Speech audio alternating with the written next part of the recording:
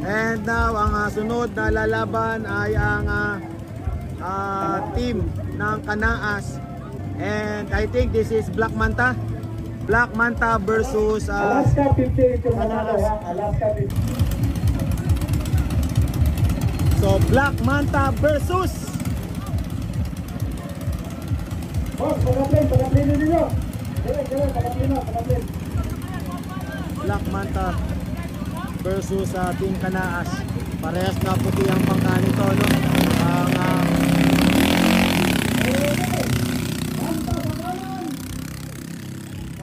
kaliwa. Kanan ang banta.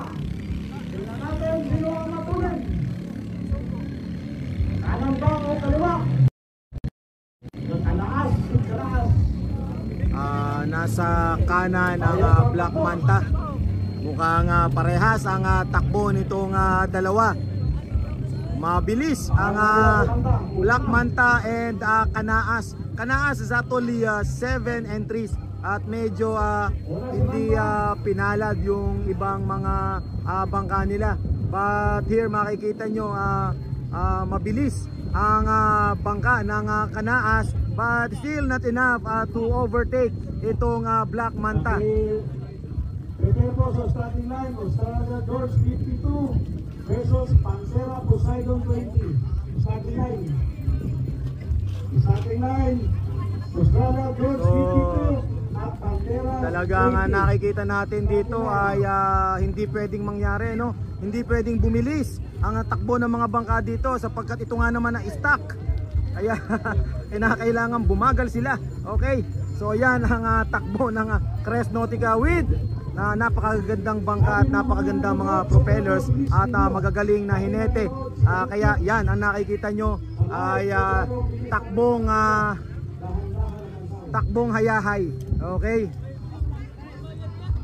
Isla, ayun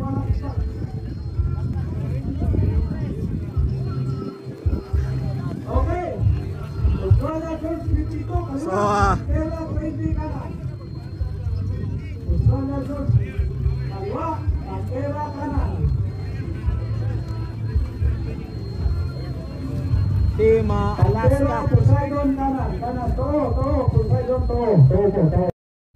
Ito, ah, nag umuulan na. Kaya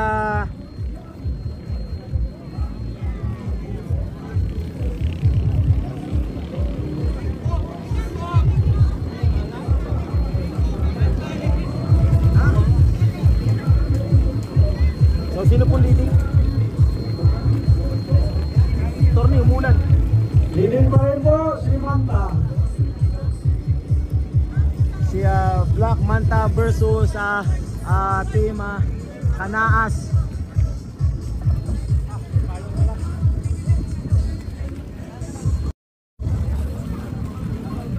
Leading po ay ah, Black Manta versus ah, team ah, Kanaas.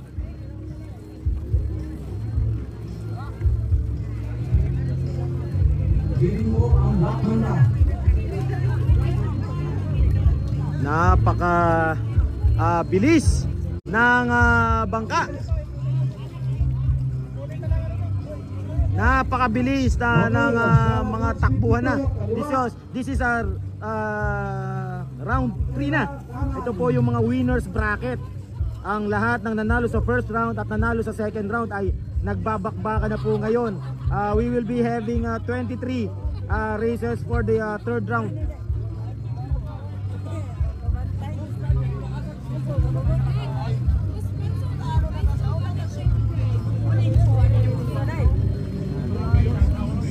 Bakit ganyan ang takbo ng uh, Crest Nautica?